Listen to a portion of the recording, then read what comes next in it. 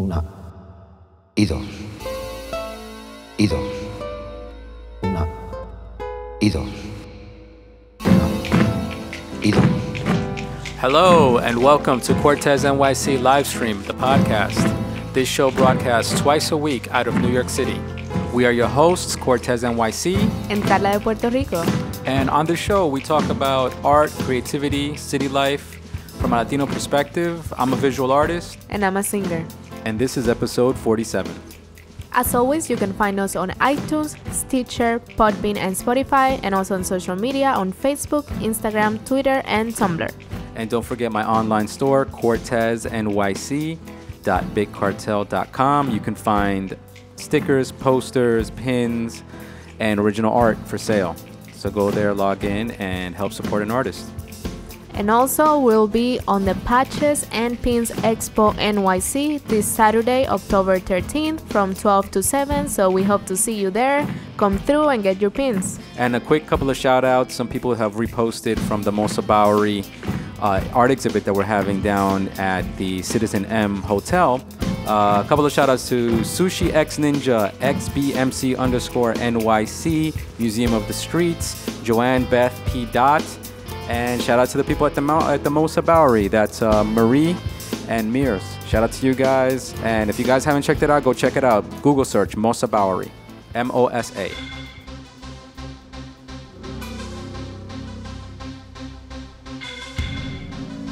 All right. We're back, Carla. We're alright, back. We're back. What? Woohoo! After watching Colombia versus USA, we are energized. After having uh, tamarind margaritas. Two of them, yeah, and some wine. yeah. Um, yeah, man. So watching Colombia beat USA four to two, that was nice. That was good. That was good. A nice, um, yeah, right. Re-energy. Yeah, yeah, Re- definitely. Re-energized, yeah. Uh, and it was a good game. They bo- both both sides had good goals. Yeah. I think both sides had had bad defense though.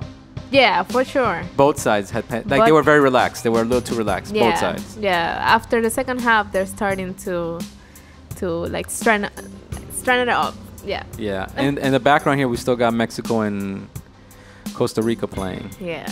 So we'll see. They're still We'll see, zero we'll zero. see. um, all right. So for this episode, I wanted to talk about um, a new little figure that I, a new drawing tool that I came across that I really enjoy, and I wanted to share with you guys. Um, and it's called Body Kun. Body and then K U N. Um, it's a it's a little mannequin. I'll, I'll, I'll call it a drawing mannequin or an art mannequin. Basically, it's a small figure, like, like a like a small action figure, um, to practice drawing. You know, the human figure in different poses. Yeah. Um, I I think if I, if I would have come across this, you know, tool when I was in high school, I would have been so excited Yeah. because that's that's the years that I really could have used it because it, it it actually is a really really well made um, drawing mannequin. Right, because Um, at, at that time when you were in high school, I'm guessing the ones that you had were very simple, Oh, no movement at all. They were dumb. They were just uh, just for you to draw whatever, just it- basically what it was for is to give you an idea to have an idea.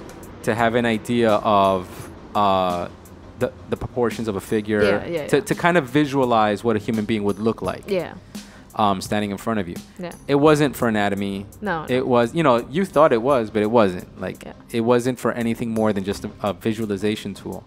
Um, and so they were, yeah, the wooden, the basic wooden mannequins is what we had back in the day Mm-hmm. in high school. And and I think back then, what I would have, you know, I, that's when you're learning to draw. So to have a, a tool like this, these like such detailed little sculptured Super detailed um, they look plastic like figures. they look like Barbies in a way, or, Right, like miniature Barbies, or yeah. Or- Kens or whatever. yeah. Those types of. but they're muscular figures. also. They they're there's two kinds. I'll talk about the two kinds Yeah, of yeah. figures that there are, but they're they have anatomy. They're muscular and everything, and and they they have a lot of different joints, so you can really put a lot of different poses on them. If you see, if you if you guys that are on Instagram, if you just search on Instagram, Body Kun, B O D Y K U N, you're gonna see people take pleasure in, in taking photos of these guys. Yeah, that's and super put- cool. Yeah, and putting them in poses, and they look they look real. Like Yeah. they look believable. They look very animated because they're so detailed.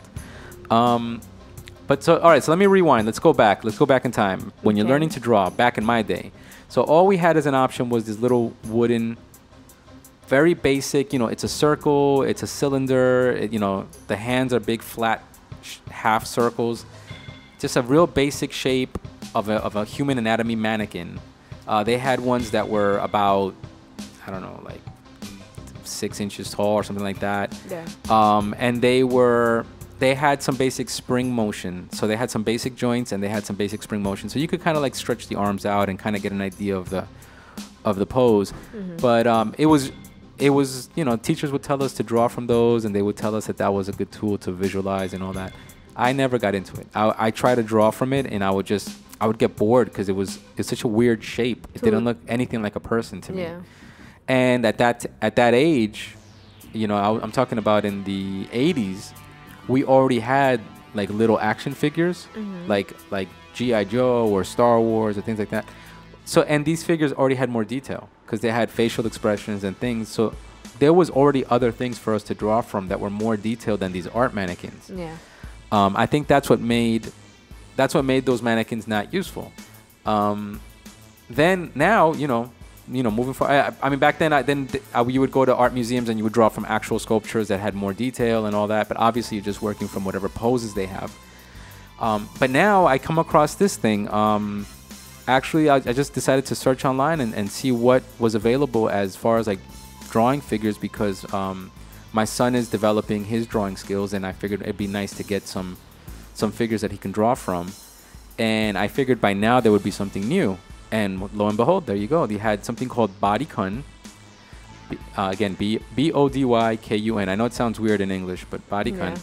And then the other one is Japan Art Figma Archetype is what it's called. F I G M A Archetype. And that's another figure. So the Figma archetype, they're both and the Body Kun, they're both about the same size. They're about, I think they're about like five inches or something like that tall. Um, but the Body Kun is a little slicker, and uh, like the the figure is very slender. Um, and the musculature is kind of simple. The the motion is really good, but what I like about the Body Kun better than the other one, the Figma archetype, is the structure. It's it's better built. The, the the parts don't fall apart as easy. Yeah, yeah. It's a little more rugged. You can play with it a little more and pose it um, better than the other one, the archetype. So the Figma archetype is the one that is a little more muscular. The build, it looks like a superhero, like an action figure. It's like a Superman posing in front of you. And the plastic is a little lighter weight, and but the joints come off easier. I, I noticed that when you start to pose it, the the arms can pop off easy, and you got to pop them back in and all that. So you got to be very delicate when you're repositioning the, the, the arms and the legs and everything. Um, they're interesting because they come with different hands, so you can replace the hands. You can have closed fist, open open hand. Uh, the the um, I'm sure they have kits. I, bel I believe online they probably have kits where they give you other hands and like yeah, yeah. they even have like guns or swords you could give them, stuff like that. Basically, I think the origin of these figures is that a, a toy company who makes action figures already, like for for um, like um, manga type Yeah. of you know Japanese magazines and stuff like that, uh, anime kind of themed characters.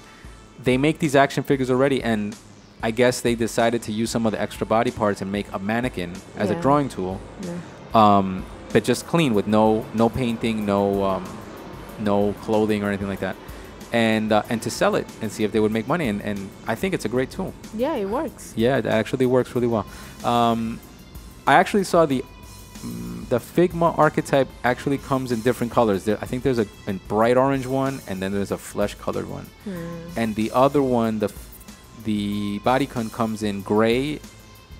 Think it comes in gray, in flesh, and in black. I think, Hmm. like a jet black.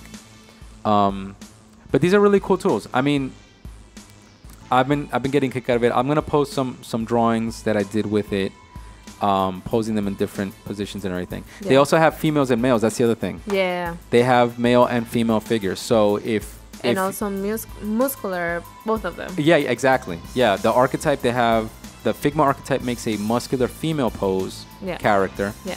that is more like a Wonder Woman kind of Wonder- body. Yeah. And then the other one, Body Kun, has body, it's Body Chan, I think it's called. Body Chan is the girl Yeah. figure. It's funny because it looks just like the manga uh, characters, female characters Right. of, of a manga magazine or, or comic. Yeah, the the Body Chan ones definitely do, and they they um the girl characters they have two types. They have one that is more like the mag manga um like sexy girl, Yeah. like with the big boobs and the Yeah. big hips and and very small waist and, and extremely small hands and extremely small shoulders, and then they have a more action type of female figure pose um, mannequin that that is a little the proportions are a little more like an action figure um, and and those are those are really good too i mean that's that's really good um, so i mean when you're looking for things to draw from you know i've been telling people for a long time you know the best thing you could do is if you're a, a toy collector or if you have toys and, and little figurines draw from that um, I think that's that's what I did when I was a kid. I used to draw my toys, and that helped a lot in my drawing from direct observation. Yeah. But if you're not a toy collector, other options that I would suggest obviously go to a museum and look at sculptures. Um, buy sculptures. You know, if you're not into toys, you can always still buy little sculptures. Maybe small small sizes. Yeah, like like go, you know, every once in a while go to a thrift shop, go to go to Mhm. somewhere where you can get things for cheap, and look at what they have as far as like little sculptures, little figurines, things like that, and, and just buy some random things that grab your attention, and practice drawing from that. Um, You know that a good store that was a toy store that was good for these kind of items was the store that was in Fifth Avenue, uh, the big toy store. I don't remember the name right now, but it was in Fifth uh, Avenue, yeah, yeah. and they will sell the little figurines that it was different characters. You have the gorilla, almost Yeah, like a. King Kong. They were a little pricey, but yeah, Yeah, I know what you're talking about. Yeah, they had a, a whole You'll bunch. have like dragons and different characters that you can draw, and that was pretty cool. And they were very detailed for it to be just a small figurine, maybe a small sculpture. Yeah. But they had color. there were detailed um, uh, expressions, yeah. and it was really cool. That. yeah But I, I mean even even if you get into um you know get like going to like um like deck like places where they sell home decorations yeah. sometimes you'll find in there little sculptures and things that you'd be surprised you Mhm. know are are worth buying and, and taking home and drawing i Your mean the- Michaels. right or even like a michael's let's say yeah michael's Yeah. has a bunch of things like that obviously yeah um, the other option that is something that i do recommend that has been recommended to me and i would recommend to other people i've tried it a couple of times and i think it works um, it's just a little more work for you is for you to buy some clay and sculpt something yourself Mm, and then draw from that yeah. and that's actually the best thing that you could do but you you know it takes the more energy for you to go and start sculpting yourself More time too. Yeah. But but it, but if you are looking to um, practice your drawing and if you want to practice your own style of drawing more than let's say learning how to draw something else that was made by somebody else then the best way is by making it yourself yeah. you know, if you make your own sculpture, you sculpt your own faces or figures or whatever, even if they're not permanent, because you know that you're only going to do it for drawing. So if you're only going to do it for a quick sketch, you could even take a photo of it, let's say, and then save that photo and use that as reference later. But but um, it doesn't have to be permanent sculpt. You know, some people don't want to get into you know sculpting like something permanent and and you know something like they don't see themselves as sculptors. You Yeah. know, um, then just get some regular clay that doesn't dry and, and just sculpt something. You know make take some time and do some interesting um, armature of a, of a figure and then sculpt on top of it and, and practice your own style of anatomy and your own style of drawing from that. I think that helps. Um, another thing that i've tried um, is like let's say for you guys out there that do graffiti pieces is um, drawing drawing cutting out pieces of ge- like geometric shapes and things like that Mhm. and drawing from that Dr- drawing like things that are very geometric and like cubes and triangles and shapes um, almost like origami right Mhm. uh, but sketching from that i think that's that's another way for you to practice drawing something in front of you that is a sculptural item in a little more abstract way you know, getting away from figures, but getting more into like just practicing drawing something that's in front of you. Right. That's another way of doing it, especially because we probably have a lot of people out there that are into graffiti and lettering and things like that. Yeah, so maybe yeah. that's, you know, if the figures aren't your thing, maybe that's something you could practice is taking paper and making it into the geometric shapes and then sketching the lighting, the shadows and all that from that is a way of practicing your drawing with some sort of model in front of you. Um, but these figures are definitely still, even though they're very detailed, they're still not really anatomically perfect. They're not anatomically correct. Um, when you're, they're, they're really for concept only. They're Yeah. they're just to kind of, vi- again, still to visualize, but it's just helping you because it's so much more detailed that it helps you visualize it even easier. But it's not realistic, like like drawing a real person. Um, you you can still see that the figure, even though it's posable, it, it doesn't stand or, or, or it doesn't have gravity the way a human being would have gravity. Um, the anatomy is exaggerated. The joints are exaggerated, obviously, the, you know, because they have to make the toy move. So they have to have these big circular joints. So when you're drawing that, you have to, if you're trying to make it realistic, you have to compensate for that and, and pretend like those joints aren't there. Um, but if you're drawing realistically, you're gonna, you know, you're gonna realize that it, there's nothing better than drawing from the real human, you know, in front of you Yeah. that would be the best exercise. Um, I think I also saw. Yeah, I did. I saw. Um, I think under the body, the body kun uh, figures Mm-hmm. under that category, I saw figures that were small, like body, like baby proportion, like toddler proportion. Oh, really? You know, like so you could have those cute little figures with the big giant heads and yeah. the small bodies. Yeah, yeah, yeah, They have a posable one for that kind of body proportion. So funny. so if you're into drawing like the the like little cartoons. the cartoon characters Yeah. with the big heads and the little bodies, they also make a posable one for that kind of body type, which is interesting because I never thought of that. Like yeah. I always thought of like you're trying to find something that's going to be as realistic as possible to real human anatomy. Mm-hmm. And I remember coming across that, and that was interesting. They Yeah, have we- those. They have those Munnys also. The the Munny, um, like the Kidrobot. I don't. I don't know. If, you've probably seen it, but you don't know what it is. But it's small figures. They're not posable. They only move maybe their arms, um, and they're they're they're short little figures. But those are also good for drawing if you want to draw simple figures because you can light it a certain way and kind of like render the the shadows and all that. And they're since it's such basic forms, it's easier to to sketch from. Yeah, and, and if you're into cartoons and characters, from there you can maybe develop your own. Exactly. And uh, that'll be super cool. Yeah. Yeah. Um, and then I guess also if you want to draw, like you were saying earlier, if you want to draw like all kinds of creatures like that, that we saw in the store, that they Yeah. had like skeletons and eagles and dragons and lions and tigers and, and Mhm. elephants. Yeah, that, that's there's no way around it. Go to a toy store if you need little figures that you want to practice anatomy, practice animals from. They're not going to be anatomically perfect, but they will give you an idea Yeah.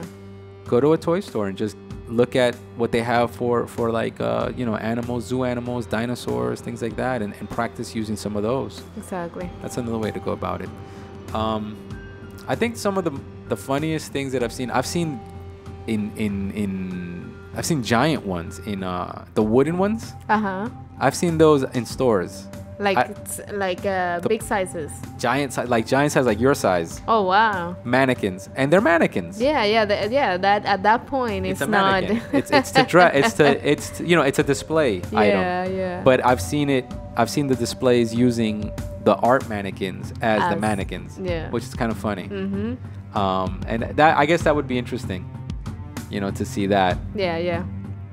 uh, and to draw from that. That'd be kind of cool. Um, all right, yeah. But so those are those those are the types. Uh, archetype by Figma, and Body Kun is the other one.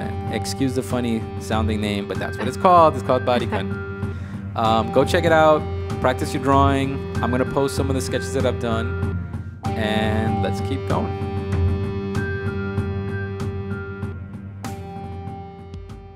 Pero si lo estás haciendo todo igual, no tiene ningún color el paso que hace. Separa menos tiempo.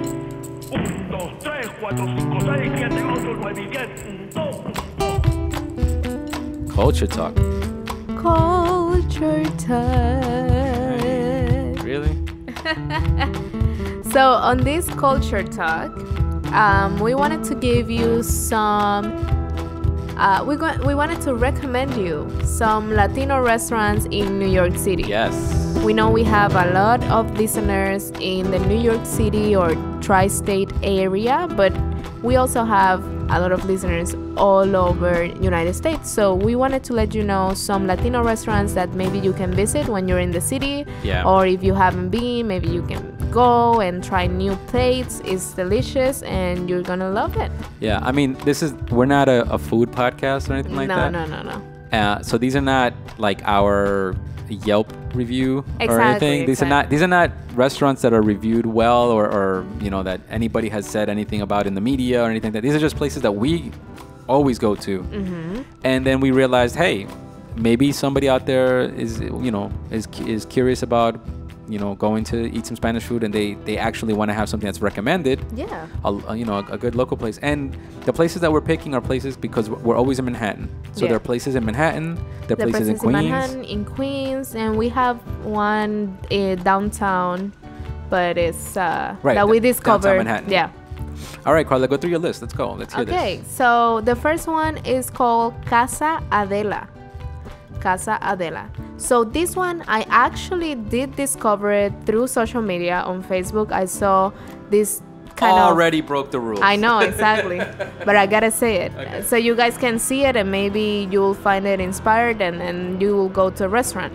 Um, I found this like documentary slash series on Facebook that is called In Your Hood, and uh, it was featuring Casa Adela, which is a Puerto Rican authentic restaurant, but it's a, a very small restaurant of just five tables. And when you go in, uh, if you go on a day that is very busy, like a Sunday or a Saturday, you have to be aware that the waiting time will be maybe an hour, 45 minutes. yeah that was ridiculous and that place Um, is super tiny Yeah, and I think that's the challenges that they're having because this video went viral. Everybody was uh, sharing it, not only, and I'm sure not only people in the community, but all over New York and all over United States were watching at this video. Uh, now it's getting very popular, and I think the only problem is that if you get there, let's say after seven, eight, nine, and that's the time you get into the restaurant, you sit down to eat. Some of the items they don't have anymore.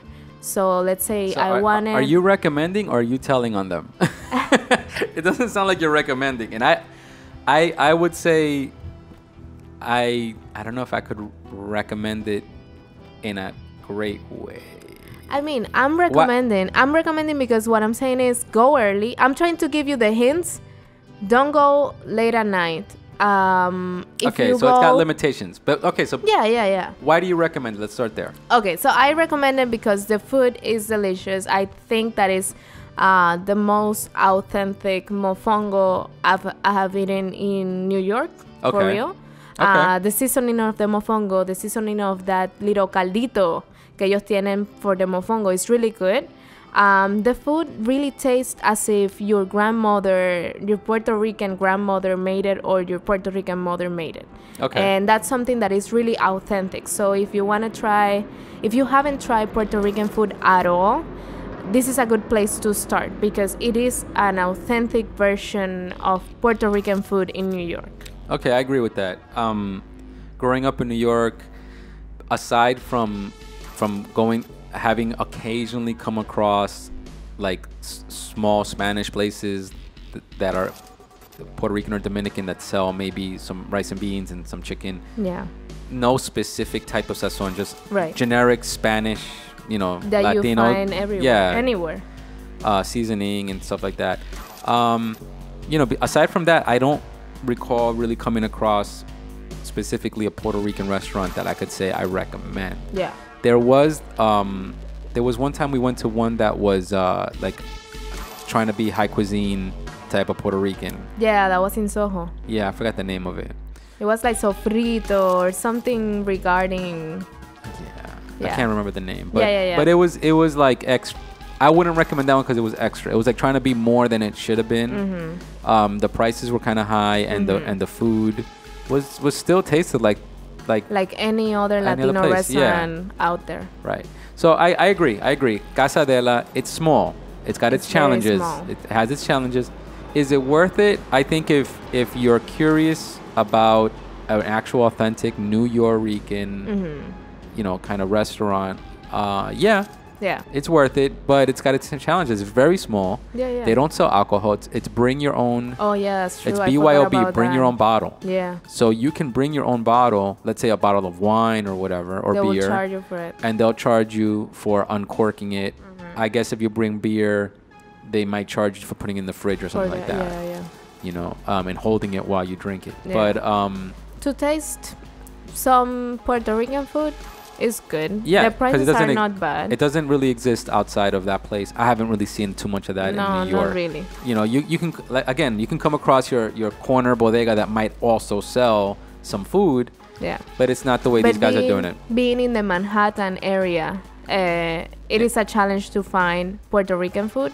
So being in Manhattan, that's a good option because if not, obviously you can go to the Bronx Right. and you can find Puerto Rican food, but that's uh, you know you have to travel a little bit. so right. yeah, and so this is down in the yeah. Mm-hmm. Lower East Side. This is down in Alphabet City. yeah. Um, so yeah, it was it was good. It was, was good. good, it I was just good. for me the challenges don't allow me to really Yeah, get too I crazy know, about. it. All right, what's the next one on your list? So that was Okay. Casa Adela. What's the next one? Casa Adela, go there. Next one is Guantanamera. Guantanamera is good. That's that's my spot. Guantanamera is in Manhattan by near Columbus Circle, yeah, it's near up. 59th Street. Yeah, it's up by 59th Street, like Midtown. Um, it's a Cuban restaurant. Um, it's awesome. The food is delicious. It has um, live music on, I believe it's maybe from Thursday to Sunday. Right. If you guys go Eh. go online, Guantanamera NYC, you go online, check Yeah. them out. They they have like a, a basic calendar of like when they have the music and all that kind of stuff. Yeah, and it's really good because you have your um, very authentic as well Cuban cuisine, and I think a plate that I would recommend is ropa vieja. They made it delicious with this um, combination between the maduros and the plátanos and the and the green plantains Yeah. and the meat and the rice. Everything is delicious every time we go.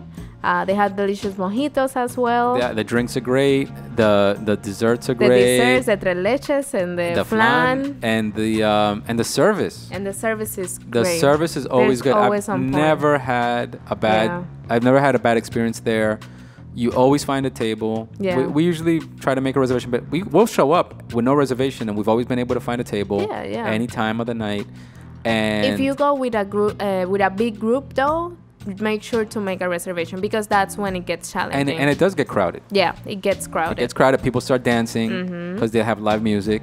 Um, always a different group playing. yeah, and and the um, they used to ha- I don't know if they always I don't know if they still do it, but they have hand rolled cigars in the oh, front. yeah, that's true. Mhm. I don't know if they still do it though. I, I've seen that they still have it there, but I don't know. I haven't seen it in action, so I don't I don't know. Um, but and the prices for Man- for a Manhattan restaurant, the prices are not bad at all. No, no, it's good. The prices are pretty good. Yeah, Um, so yeah, that's a good one. Guantanamera. Guantanamera is always a good place to go, have a good time, enjoy some Latino music, and just you know be able to embrace Latino culture. Google search it. Yeah. And then we go to Queens to La Pequeña Colombia, which is in Jackson Heights, Roosevelt Avenue. Um, and this is a Colombian restaurant. Um, it's really good as well. You find your Colombian plates, bandeja paisa, bandeja montañera, and it's delicious. Um, I feel the service is also really good Yeah, they're, they're good.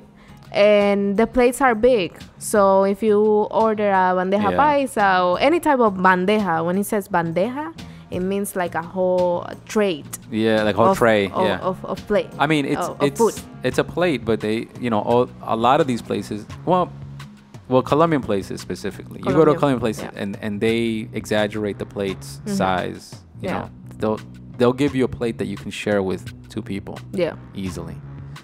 Um, but I think La Pequeña Colombia is, is is I don't know if their details, but I know that they've been there forever Yeah. and they have a long history in Jackson Heights. And it started off as a small restaurant, and then expanded bigger, and then went further back.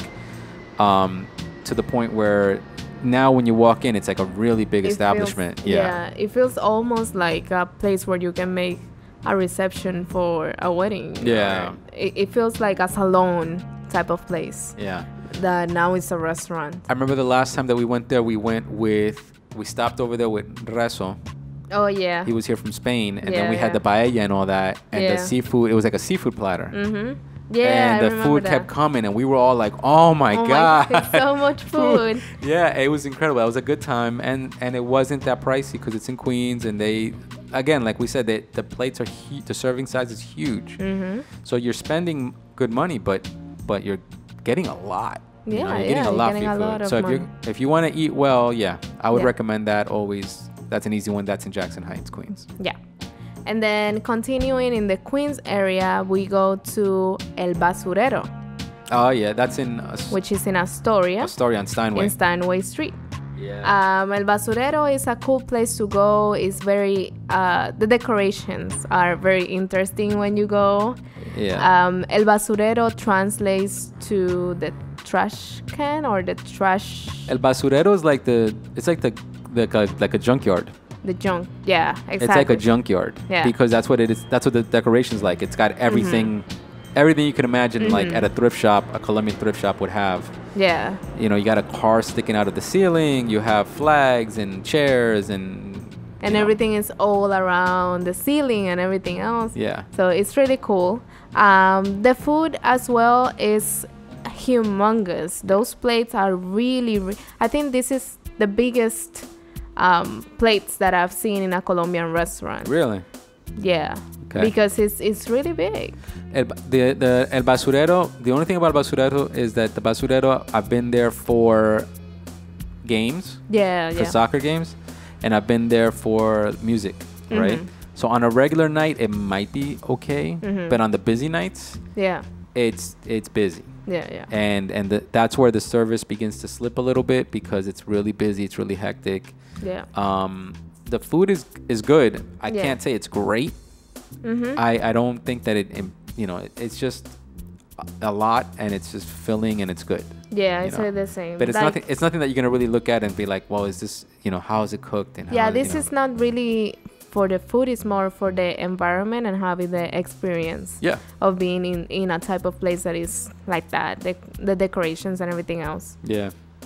so then So that's El Basurero, guys. Google search it. Yes and then we go to el patron El Patron is a good one. that's one of my favorites too it's kind of like a And mexican slash colombian slash all over latino restaurant Yeah.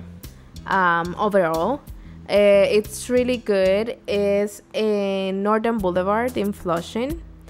And uh, what I like about it are the frozen margaritas in those tequila Yeah. containers that Yeah, are like cool. mini tequila containers, but they're full of frozen margarita. So you can imagine that after a night out there eating and, And drinking. your margarita, you're gonna end up drunk. Yeah. and and that restaurant tries to be a little elevated. Mm-hmm. Um, but it's it's still good prices. The the quantity's still good. Yeah. um, they, you know they have their music and the ambiance in the background. They have TV screens, but but um, there it's a restaurant. There it's really about the food and the service. Yeah. Um, you know, and the presentation of the food and all that. It's it's really good. That Yeah, one really that good. one's really good. That one, uh, you know what's really good in that one? The ceviche.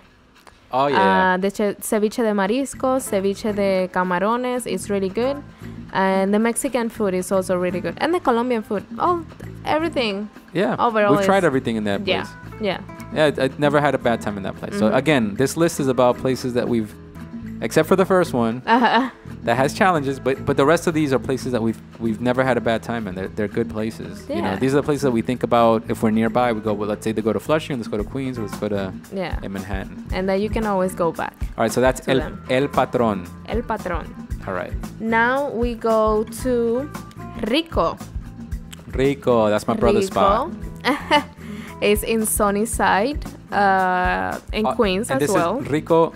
Riko's is R I K O. yeah. Right. R I K O. Riko's. Rikos. It's on 46th Street and Greenpoint. So Rikos is a Peruvian restaurant, and the food as well is always really good. Um, ceviche is really good because you know Peruvians are known Yeah. for the ceviche, and it's delicious for real. It's like another level. And also their plates with meat and and fish, they're really Yeah. good. They try to make it very fresh, and that it doesn't have a lot of sauces or anything like that. It's it it's really good, and you can always have a good time because they do have live music. Oh yeah. I've been there, so shout out to the guys that plays the karaoke tracks Yeah, and yeah. everything else because they always give me an opportunity to sing and they love it. Um, and they're very welcoming to everybody of that course, goes and the there. and the the uh, service is great. Yeah, They make you feel like you're coming to somebody's house. exactly. It's Yeah. almost like you're home. Yeah, yeah. So everybody knows you. Everybody is, is happy to see you. So that's a great place. And then we have Cafe Salamanca. Spanish restaurant. Cafe Salamanca is a Spanish restaurant in Northern Boulevard. That's where we had our wedding reception, and it was great. Yeah, that place gives you a lot of food. Yes. You wanted me to teach you, right? This is street reality. Hablando español, Carla. Ok, hablando, hablando, hablando español. I don't think you're ready to hablar español this time, Carla. I am ready. Nah, you're not. Yes, I am. So, how do you say? How do I say what? How do I say Colombia won? Four to two. Kicked USA's ass. No. How do I say Costa Rica is beating Mexico right now? yeah, Costa to Rica is gonna beat Colombia on Tuesday when we're gonna go watch it. how do you say toy? Toy, juguete. Juguete. Great. Toy. How do you say? Juguete. Now, just a funny thing about juguete. Juguete always throws me off because I think of jugo. Oh, really? Isn't that weird? So jugo is juice, Yeah. but juguete is I mean, it's because it starts with the same kind Jugo of and juguete. Yeah. Uh, Juice and toy. Jugo and juguete. That's not right. That's not fair. Why they messing with me? how do you say figurine? Figurine. Uh, I would say like figura. Yes. It's like a figure. Yeah. Figura. Yeah. Okay.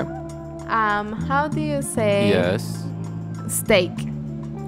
How do I say steak?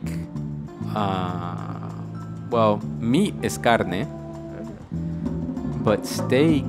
I think there is a word for steak. Is- There is a word for steak. All right. So meat is carne. Yeah. Steak is what? Filete. Really? That's fillet. Because you can have a steak of fish and a steak of meat. And they say filete. Filete. Filete de carne. Filete de carne, filete de pescado. Really? hmm Okay. Yeah. All right. Cool. Filete. How do you say Yes. rice? Rice, arroz, and it's delicious. That is delicious, right? Yes. How do you say restaurant? Restaurant is res- restaurante. Yes. Um, how do you say when you were talking about um, the parts, the parts of the of the figure? You said that they have big Joints? joints. How do you say joints? Joints. Uh, damn.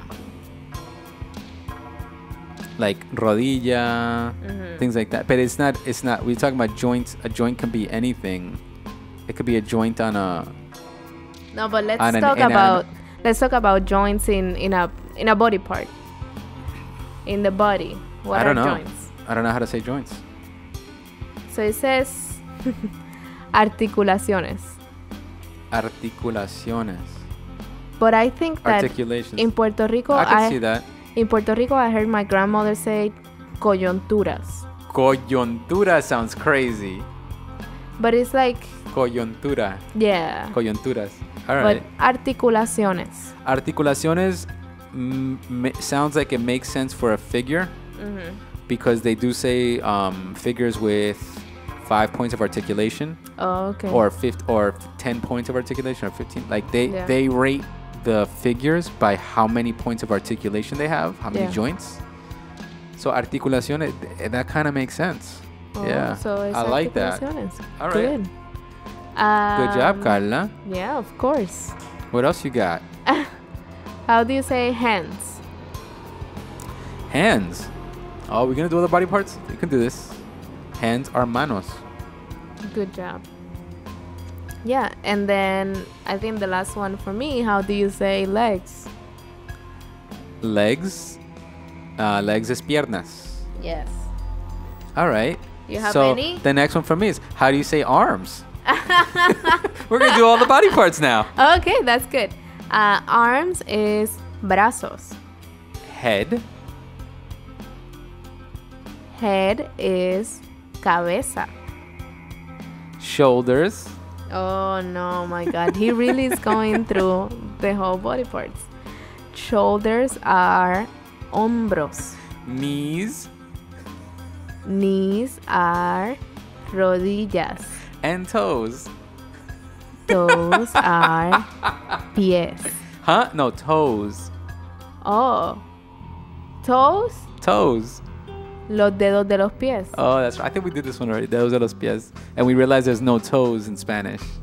It's dedos. I don't think we did it for the show, but I think we have discussed this already. Yeah. Yes. So head, we did heads, shoulders, knees, and toes. yeah. Knees and toes. Knees and yeah. Heads. Okay, we did that already. knees and toes, knees and Good. toes. Yeah. Good job, Carla. Good Okay, job. Good job. Oh Have anything else? oh my God. Um. Well, we were talking about restaurant. We were talking about um.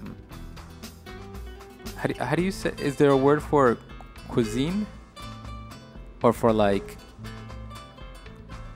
Well, I I I guess the cuisine, cuisine would probably fall into the word like sazon. No, mm. kind of. When we're describing like that they that it's it's got a good Well, because cuisine is a French word, I think. yeah. I th- I thought originally thinking about cuisine that it was like cocina, just cocina, and Right. then I just looked it up and it says cocina.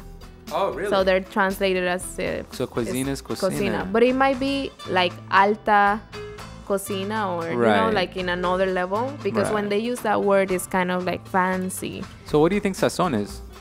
What's the definition of sazon? Sazon. Sazon is, is flavor or spice. Yeah, like like the flavor more than anything else. Because I, I think that's um when like when people say French cuisine, Italian cuisine, and then I'm thinking, well, when when we're saying Spanish food and we're trying to say, well, this is more Mexican, this is more, Right. you know, it's got a certain flavor, it's got a certain sazon. Following Google Translator, it says seasoning. Says sazon is seasoning. Yeah. Okay. So sazon is basically yeah, like the flavor, the seasoning. Right. Maybe it has to be a, a combination between the flavors and the different ingredients, Yeah. and that makes the sazon different from every country. Like like uh, when we went to the Spanish place versus the Colombian place, we had paella in two different places. Yeah. But you know, you could see a little bit of difference in the in the flavoring, Yeah, a little yeah. bit, Mhm. um, and obviously in the presentation. Yeah, definitely. But um, okay. Really good that, Carla. Thank you so much for teaching me some Spanish. You're welcome. Go Colombia. Woohoo!